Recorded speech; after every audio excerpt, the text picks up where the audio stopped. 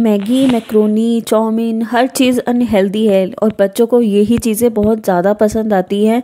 तो इन चीज़ों के साथ साथ हमें कुछ हेल्दी भी खिलाना चाहिए। तो मैं लेके आई हूँ आज वेज अप्पे की रेसिपी इसमें आप जितनी मर्ज़ी सब्ज़ियाँ डाली, बच्चों को ना पता चलेगा और टेस्ट भी इसका बहुत ही बढ़िया आएगा।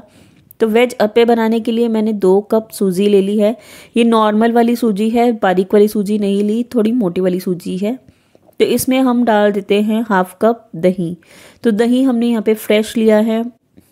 खट्टी वाली दही नहीं लेनी है टेस्ट थोड़ा उससे खट्टा आता है तो दही को और सूजी को अच्छे से मिला लेते हैं।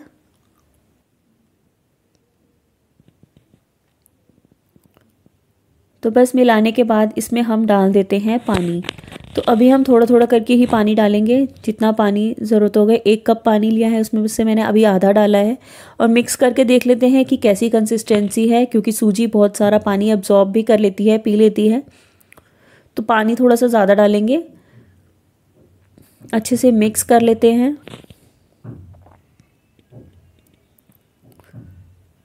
और अब पानी डाल के इसे में पंद्रह से बीस मिनट रेस्ट करने के लिए छोड़ना है, क्योंकि तभी इसकी सही से कंसिस्टेंसी पता चलेगी। सूजी ये जितना पानी पीना होगा, एक बार में पी लेगी और उसके बाद हम इसे आगे का प्रोसेस शुरू करेंगे। तो यहाँ पर तब तक सूजी पानी पी रही है। तब तक हमने यहाँ पे कुछ सब्ज़ियाँ ले ली हैं।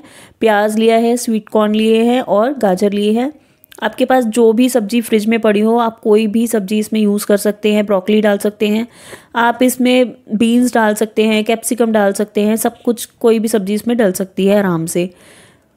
तो अब हमने एक बड़ा बाउल ले लिया है क्योंकि सूजी काफ़ी ज़्यादा फूल चुकी है। अब हम इसमें पानी ऐड कर देते हैं।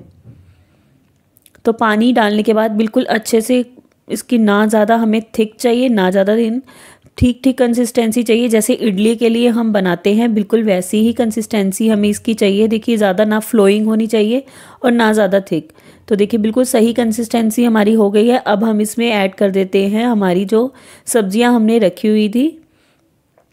तो स्वीट कॉर्न गाजर और प्याज, हम तीन चीज़ें इसमें डाल रहे हैं, आप टमाटर भी डाल सकते हैं। तो इसमें हम अच्छे से डाल के इसे मिक्स कर लेते हैं और बेसिक से इसमें मसाले जाएँगे, बहुत ही ज़्यादा बेसिक सी रेसिपी है, बिल्कुल स्पाइसी नहीं बनाएँगे। अगर हम बच्चों के लिए बना रहे हैं तो बड़ों के लिए बना रहे हैं तो आप इसमें ज़्यादा मसाले भी ऐड कर सकते हैं। तो देखिए, अच्छे से मिक्स कर लिया है और अब हम इसमें डाल देते हैं हमारे नमक मिर्च। सिर्फ़ नमक और मिर्च मैं इसमें डाल रही हूँ। आप ब्लैक पेपर पाउडर भी इसमें डाल सकते हैं, या ऑरिगेनो या मिक्स हर्ब्स हो, आप वो भी इसमें डाल सकते हैं, धनिया भी डाल सकते हैं, पालक भी डाल सकते हैं, कुछ भी आप इसमें ऐड कर सकते हैं। तो बस अच्छे से मिक्स कर लेते हैं इसे।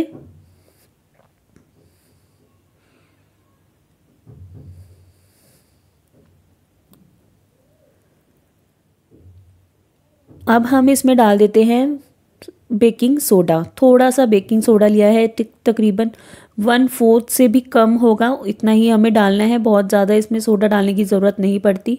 इसे अच्छे से फ्लफ़ी होके बन जाती हैं, बिल्कुल फूली फूली बनेंगी, अगर आपने ये नहीं डालना तो इसकी जगह आप थोड़ा सा इनो फ्रूट सॉल्ट भी डाल सकते हैं। तो बस अच्छे से मिक्स कर लिया है, ज़्यादा नहीं फैटना और अब हमने यहाँ पे ले लिया है एक अप्पम मेकर बाज़ार में बड़ी आसानी से मिल जाता है ऑनलाइन भी बहुत ही आराम से मिल जाएगा।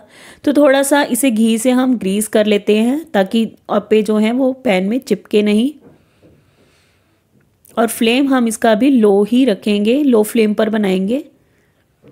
और इसे एक एक चम्मच के आसपास जितना ये फिल हो जाए, उतना हमने इसमें डालकर इसे छोड़ देना है दस, दो से तीन मिनट के लिए।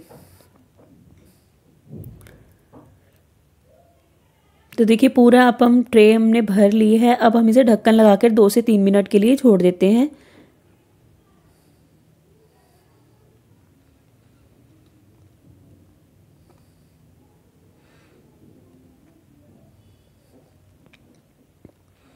दो तीन मिनट हो चुके हैं।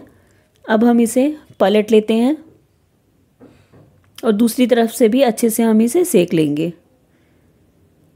अगर आप चाहें तो दोबारा से एक बारी ऑयल थोड़ा सा अप्लाई कर सकते हैं, पर मैंने नहीं किया। थोड़ा सा अगर आप अप्लाई कर देंगे तो दूसरी तरफ़ से भी आपका क्रिस्पी बन जाएँगे। तो पलट कर दो मिनट के लिए हम इसे और छोड़ देंगे। और इसे आप हरी चटनी, लाल चटनी या शेजवान सॉस, किसी के साथ भी खाएँ, बहुत ही ज़्यादा टेस्टी लगेगा। बच्चों को टिफ़िन में देना चाहते हैं, वो भी दे सकते हैं। बच्चों को बहुत ही ज़्यादा पसंद आता है। मेरे घर में तो ये हफ़्ते में दो बार ये रेसिपी बन ही जाती है और टिफ़िन में तो ज़रूर हफ़्ते में एक से दो बार ही जाती है। बहुत ही ज़्यादा टेस्टी लगते हैं और ये ठंडे होने के बाद भी अच्छे लगते हैं। इसे ठंडे होने के बाद भी आराम से टिफ़िन में बच्चे खा सकते हैं। तो देखिए, अप्पे बन के हमारे अच्छे से तैयार हो गए हैं। इसे हम सर्व कर लेते हैं टमाटो केचप के साथ। आपके पास जो भी चटनी हो, आप उसके साथ इसे खा सकते हैं। नारियल की चटनी के साथ भी बहुत ही अच्छे लगते हैं। तो आप भी इस रेसिपी को इस सर्दियों में ज़रूर ट्राई कीजिएगा। सर्दियों में सब्ज़ियाँ बहुत ही सारी आ जाती हैं और बच्चों को सब्ज़ियाँ खिलाने बड़ी ही ज़रूरी होती हैं तो हमें इस रेसिपी को ज़रूर ट्राई करना चाहिए। तो अगर आपको ये मेरी रेसिपी वीडियो को लाइक, शेयर, सब्सक्राइब ज़रूर कीजिएगा। तो जल्दी मिलते हैं एक और नई रेसिपी के साथ। तब तक के लिए बाय बाय टेक केयर।